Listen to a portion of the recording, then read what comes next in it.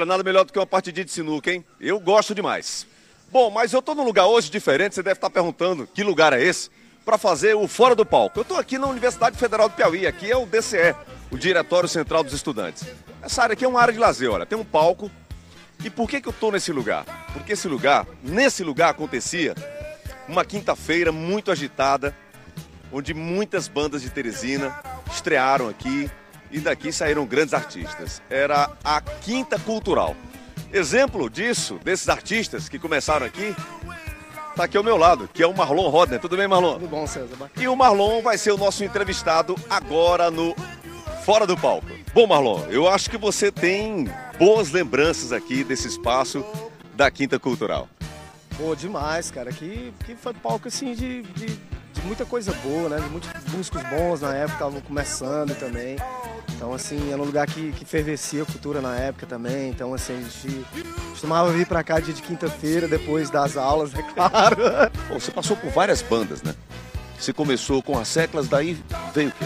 É, é umas seclas aí, aí é, a gente passa por de projetos, né? Tinha uma banda chamada Sem Identidade também, é, Sem Identidade, era com o Joselé, com a rapaziada boa danada aí. E de lá pra cá a gente foi circulando. Aí passei é, Mano Crispim, BR Obró, Quinto Elemento. É, aí eu, eu me lembro que eu fui embora, fui morar em Brasília em 95, depois dos Vasos Problemáticos também, que teve também uma banda, uma rapaziada.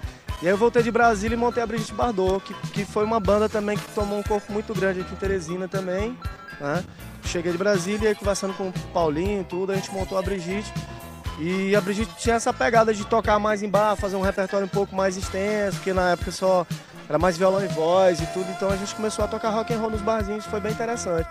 E depois da Brigitte, é, Quinto Elemento, Ben Rodró, Teve Preso, e aí acesso, e aí combinou, combinou agora no Marlões Brandos, assim, com, a, com, essa, com essa pegada de, de buscar fazer o trabalho autoral de novo. Marlões Brandos é seu último projeto, né, que você está envolvido até agora. Ele tem quantos anos? É de 2005, 2006 para cá? 2006. 2006 para cá. É, a gente completou agora dia 2 de novembro, né, dia dos finados. A gente aproveitou aquela história do feriadão para começar a ensaiar, começar a banda, foi uma boa data. É hoje o dia. E aí a gente tá com 5 anos já de estrada aí já, né? Passou vários músicos também, enfim. E a gente chegou agora nessa rapaziada agora, que é uma rapaziada bacana, que toca bem, sabe? E que tá interessada de fazer esse trabalho junto comigo, abraçou a ideia. E aí chegou a hora da gente realmente realizar esse trabalho. Acho que tudo tem hora, né, cara? É, tudo tem seu momento, eu também acredito assim. Meu destino tem em minhas mãos. Sinto quanto o coração. Não faz parte da emoção. Ficar parado, sentado aí sozinho. Melhor sair sem direção. Na bagagem só a razão. Que doa sempre vai doer. Mas é melhor que negar o seu destino. Não, não fique de olhos fechados. A situação pode piorar. Mas se chegar a hora de mudar, melhor encarar e seguir o seu caminho. O Balão trouxe uma, uma relíquia aqui. Um vinil que é o disco do Asseclas. Exatamente dessa época. Se eu não me engano, foi gravado em 90. 91, 90. 91, lançado em 92. Isso. E aqui, ele traz um agradecimento aqui, que olha que bacana. Aqui o primeiro agradecimento, como você pode ver aqui, ó, é o primeiro agradecimento. César Filho, Cidade Verde FM, uma rádio que fez história aqui em Teresina. E o nome do disco era é, A Procura de Identidade. Relíquia, hein, gente? Você está com um projeto agora atual de gravar um CD, um DVD.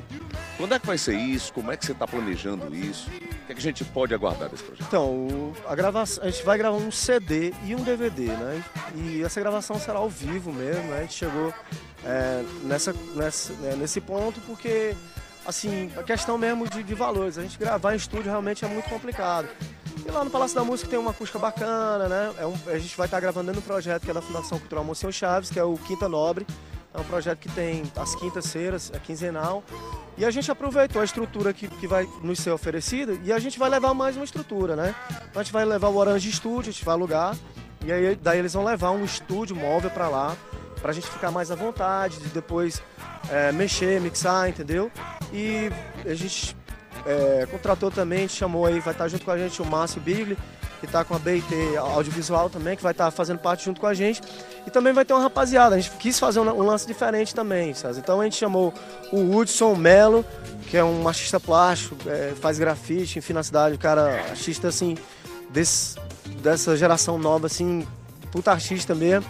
Então o cara vai fazer o cenário, né? Vai fazer o cenário do, e, e, enfim, a instalação. A gente vai contar também com, com o Narciso, que vai fazer uma parte toda de, de videografismo também, que vai ser rolado na hora no palco.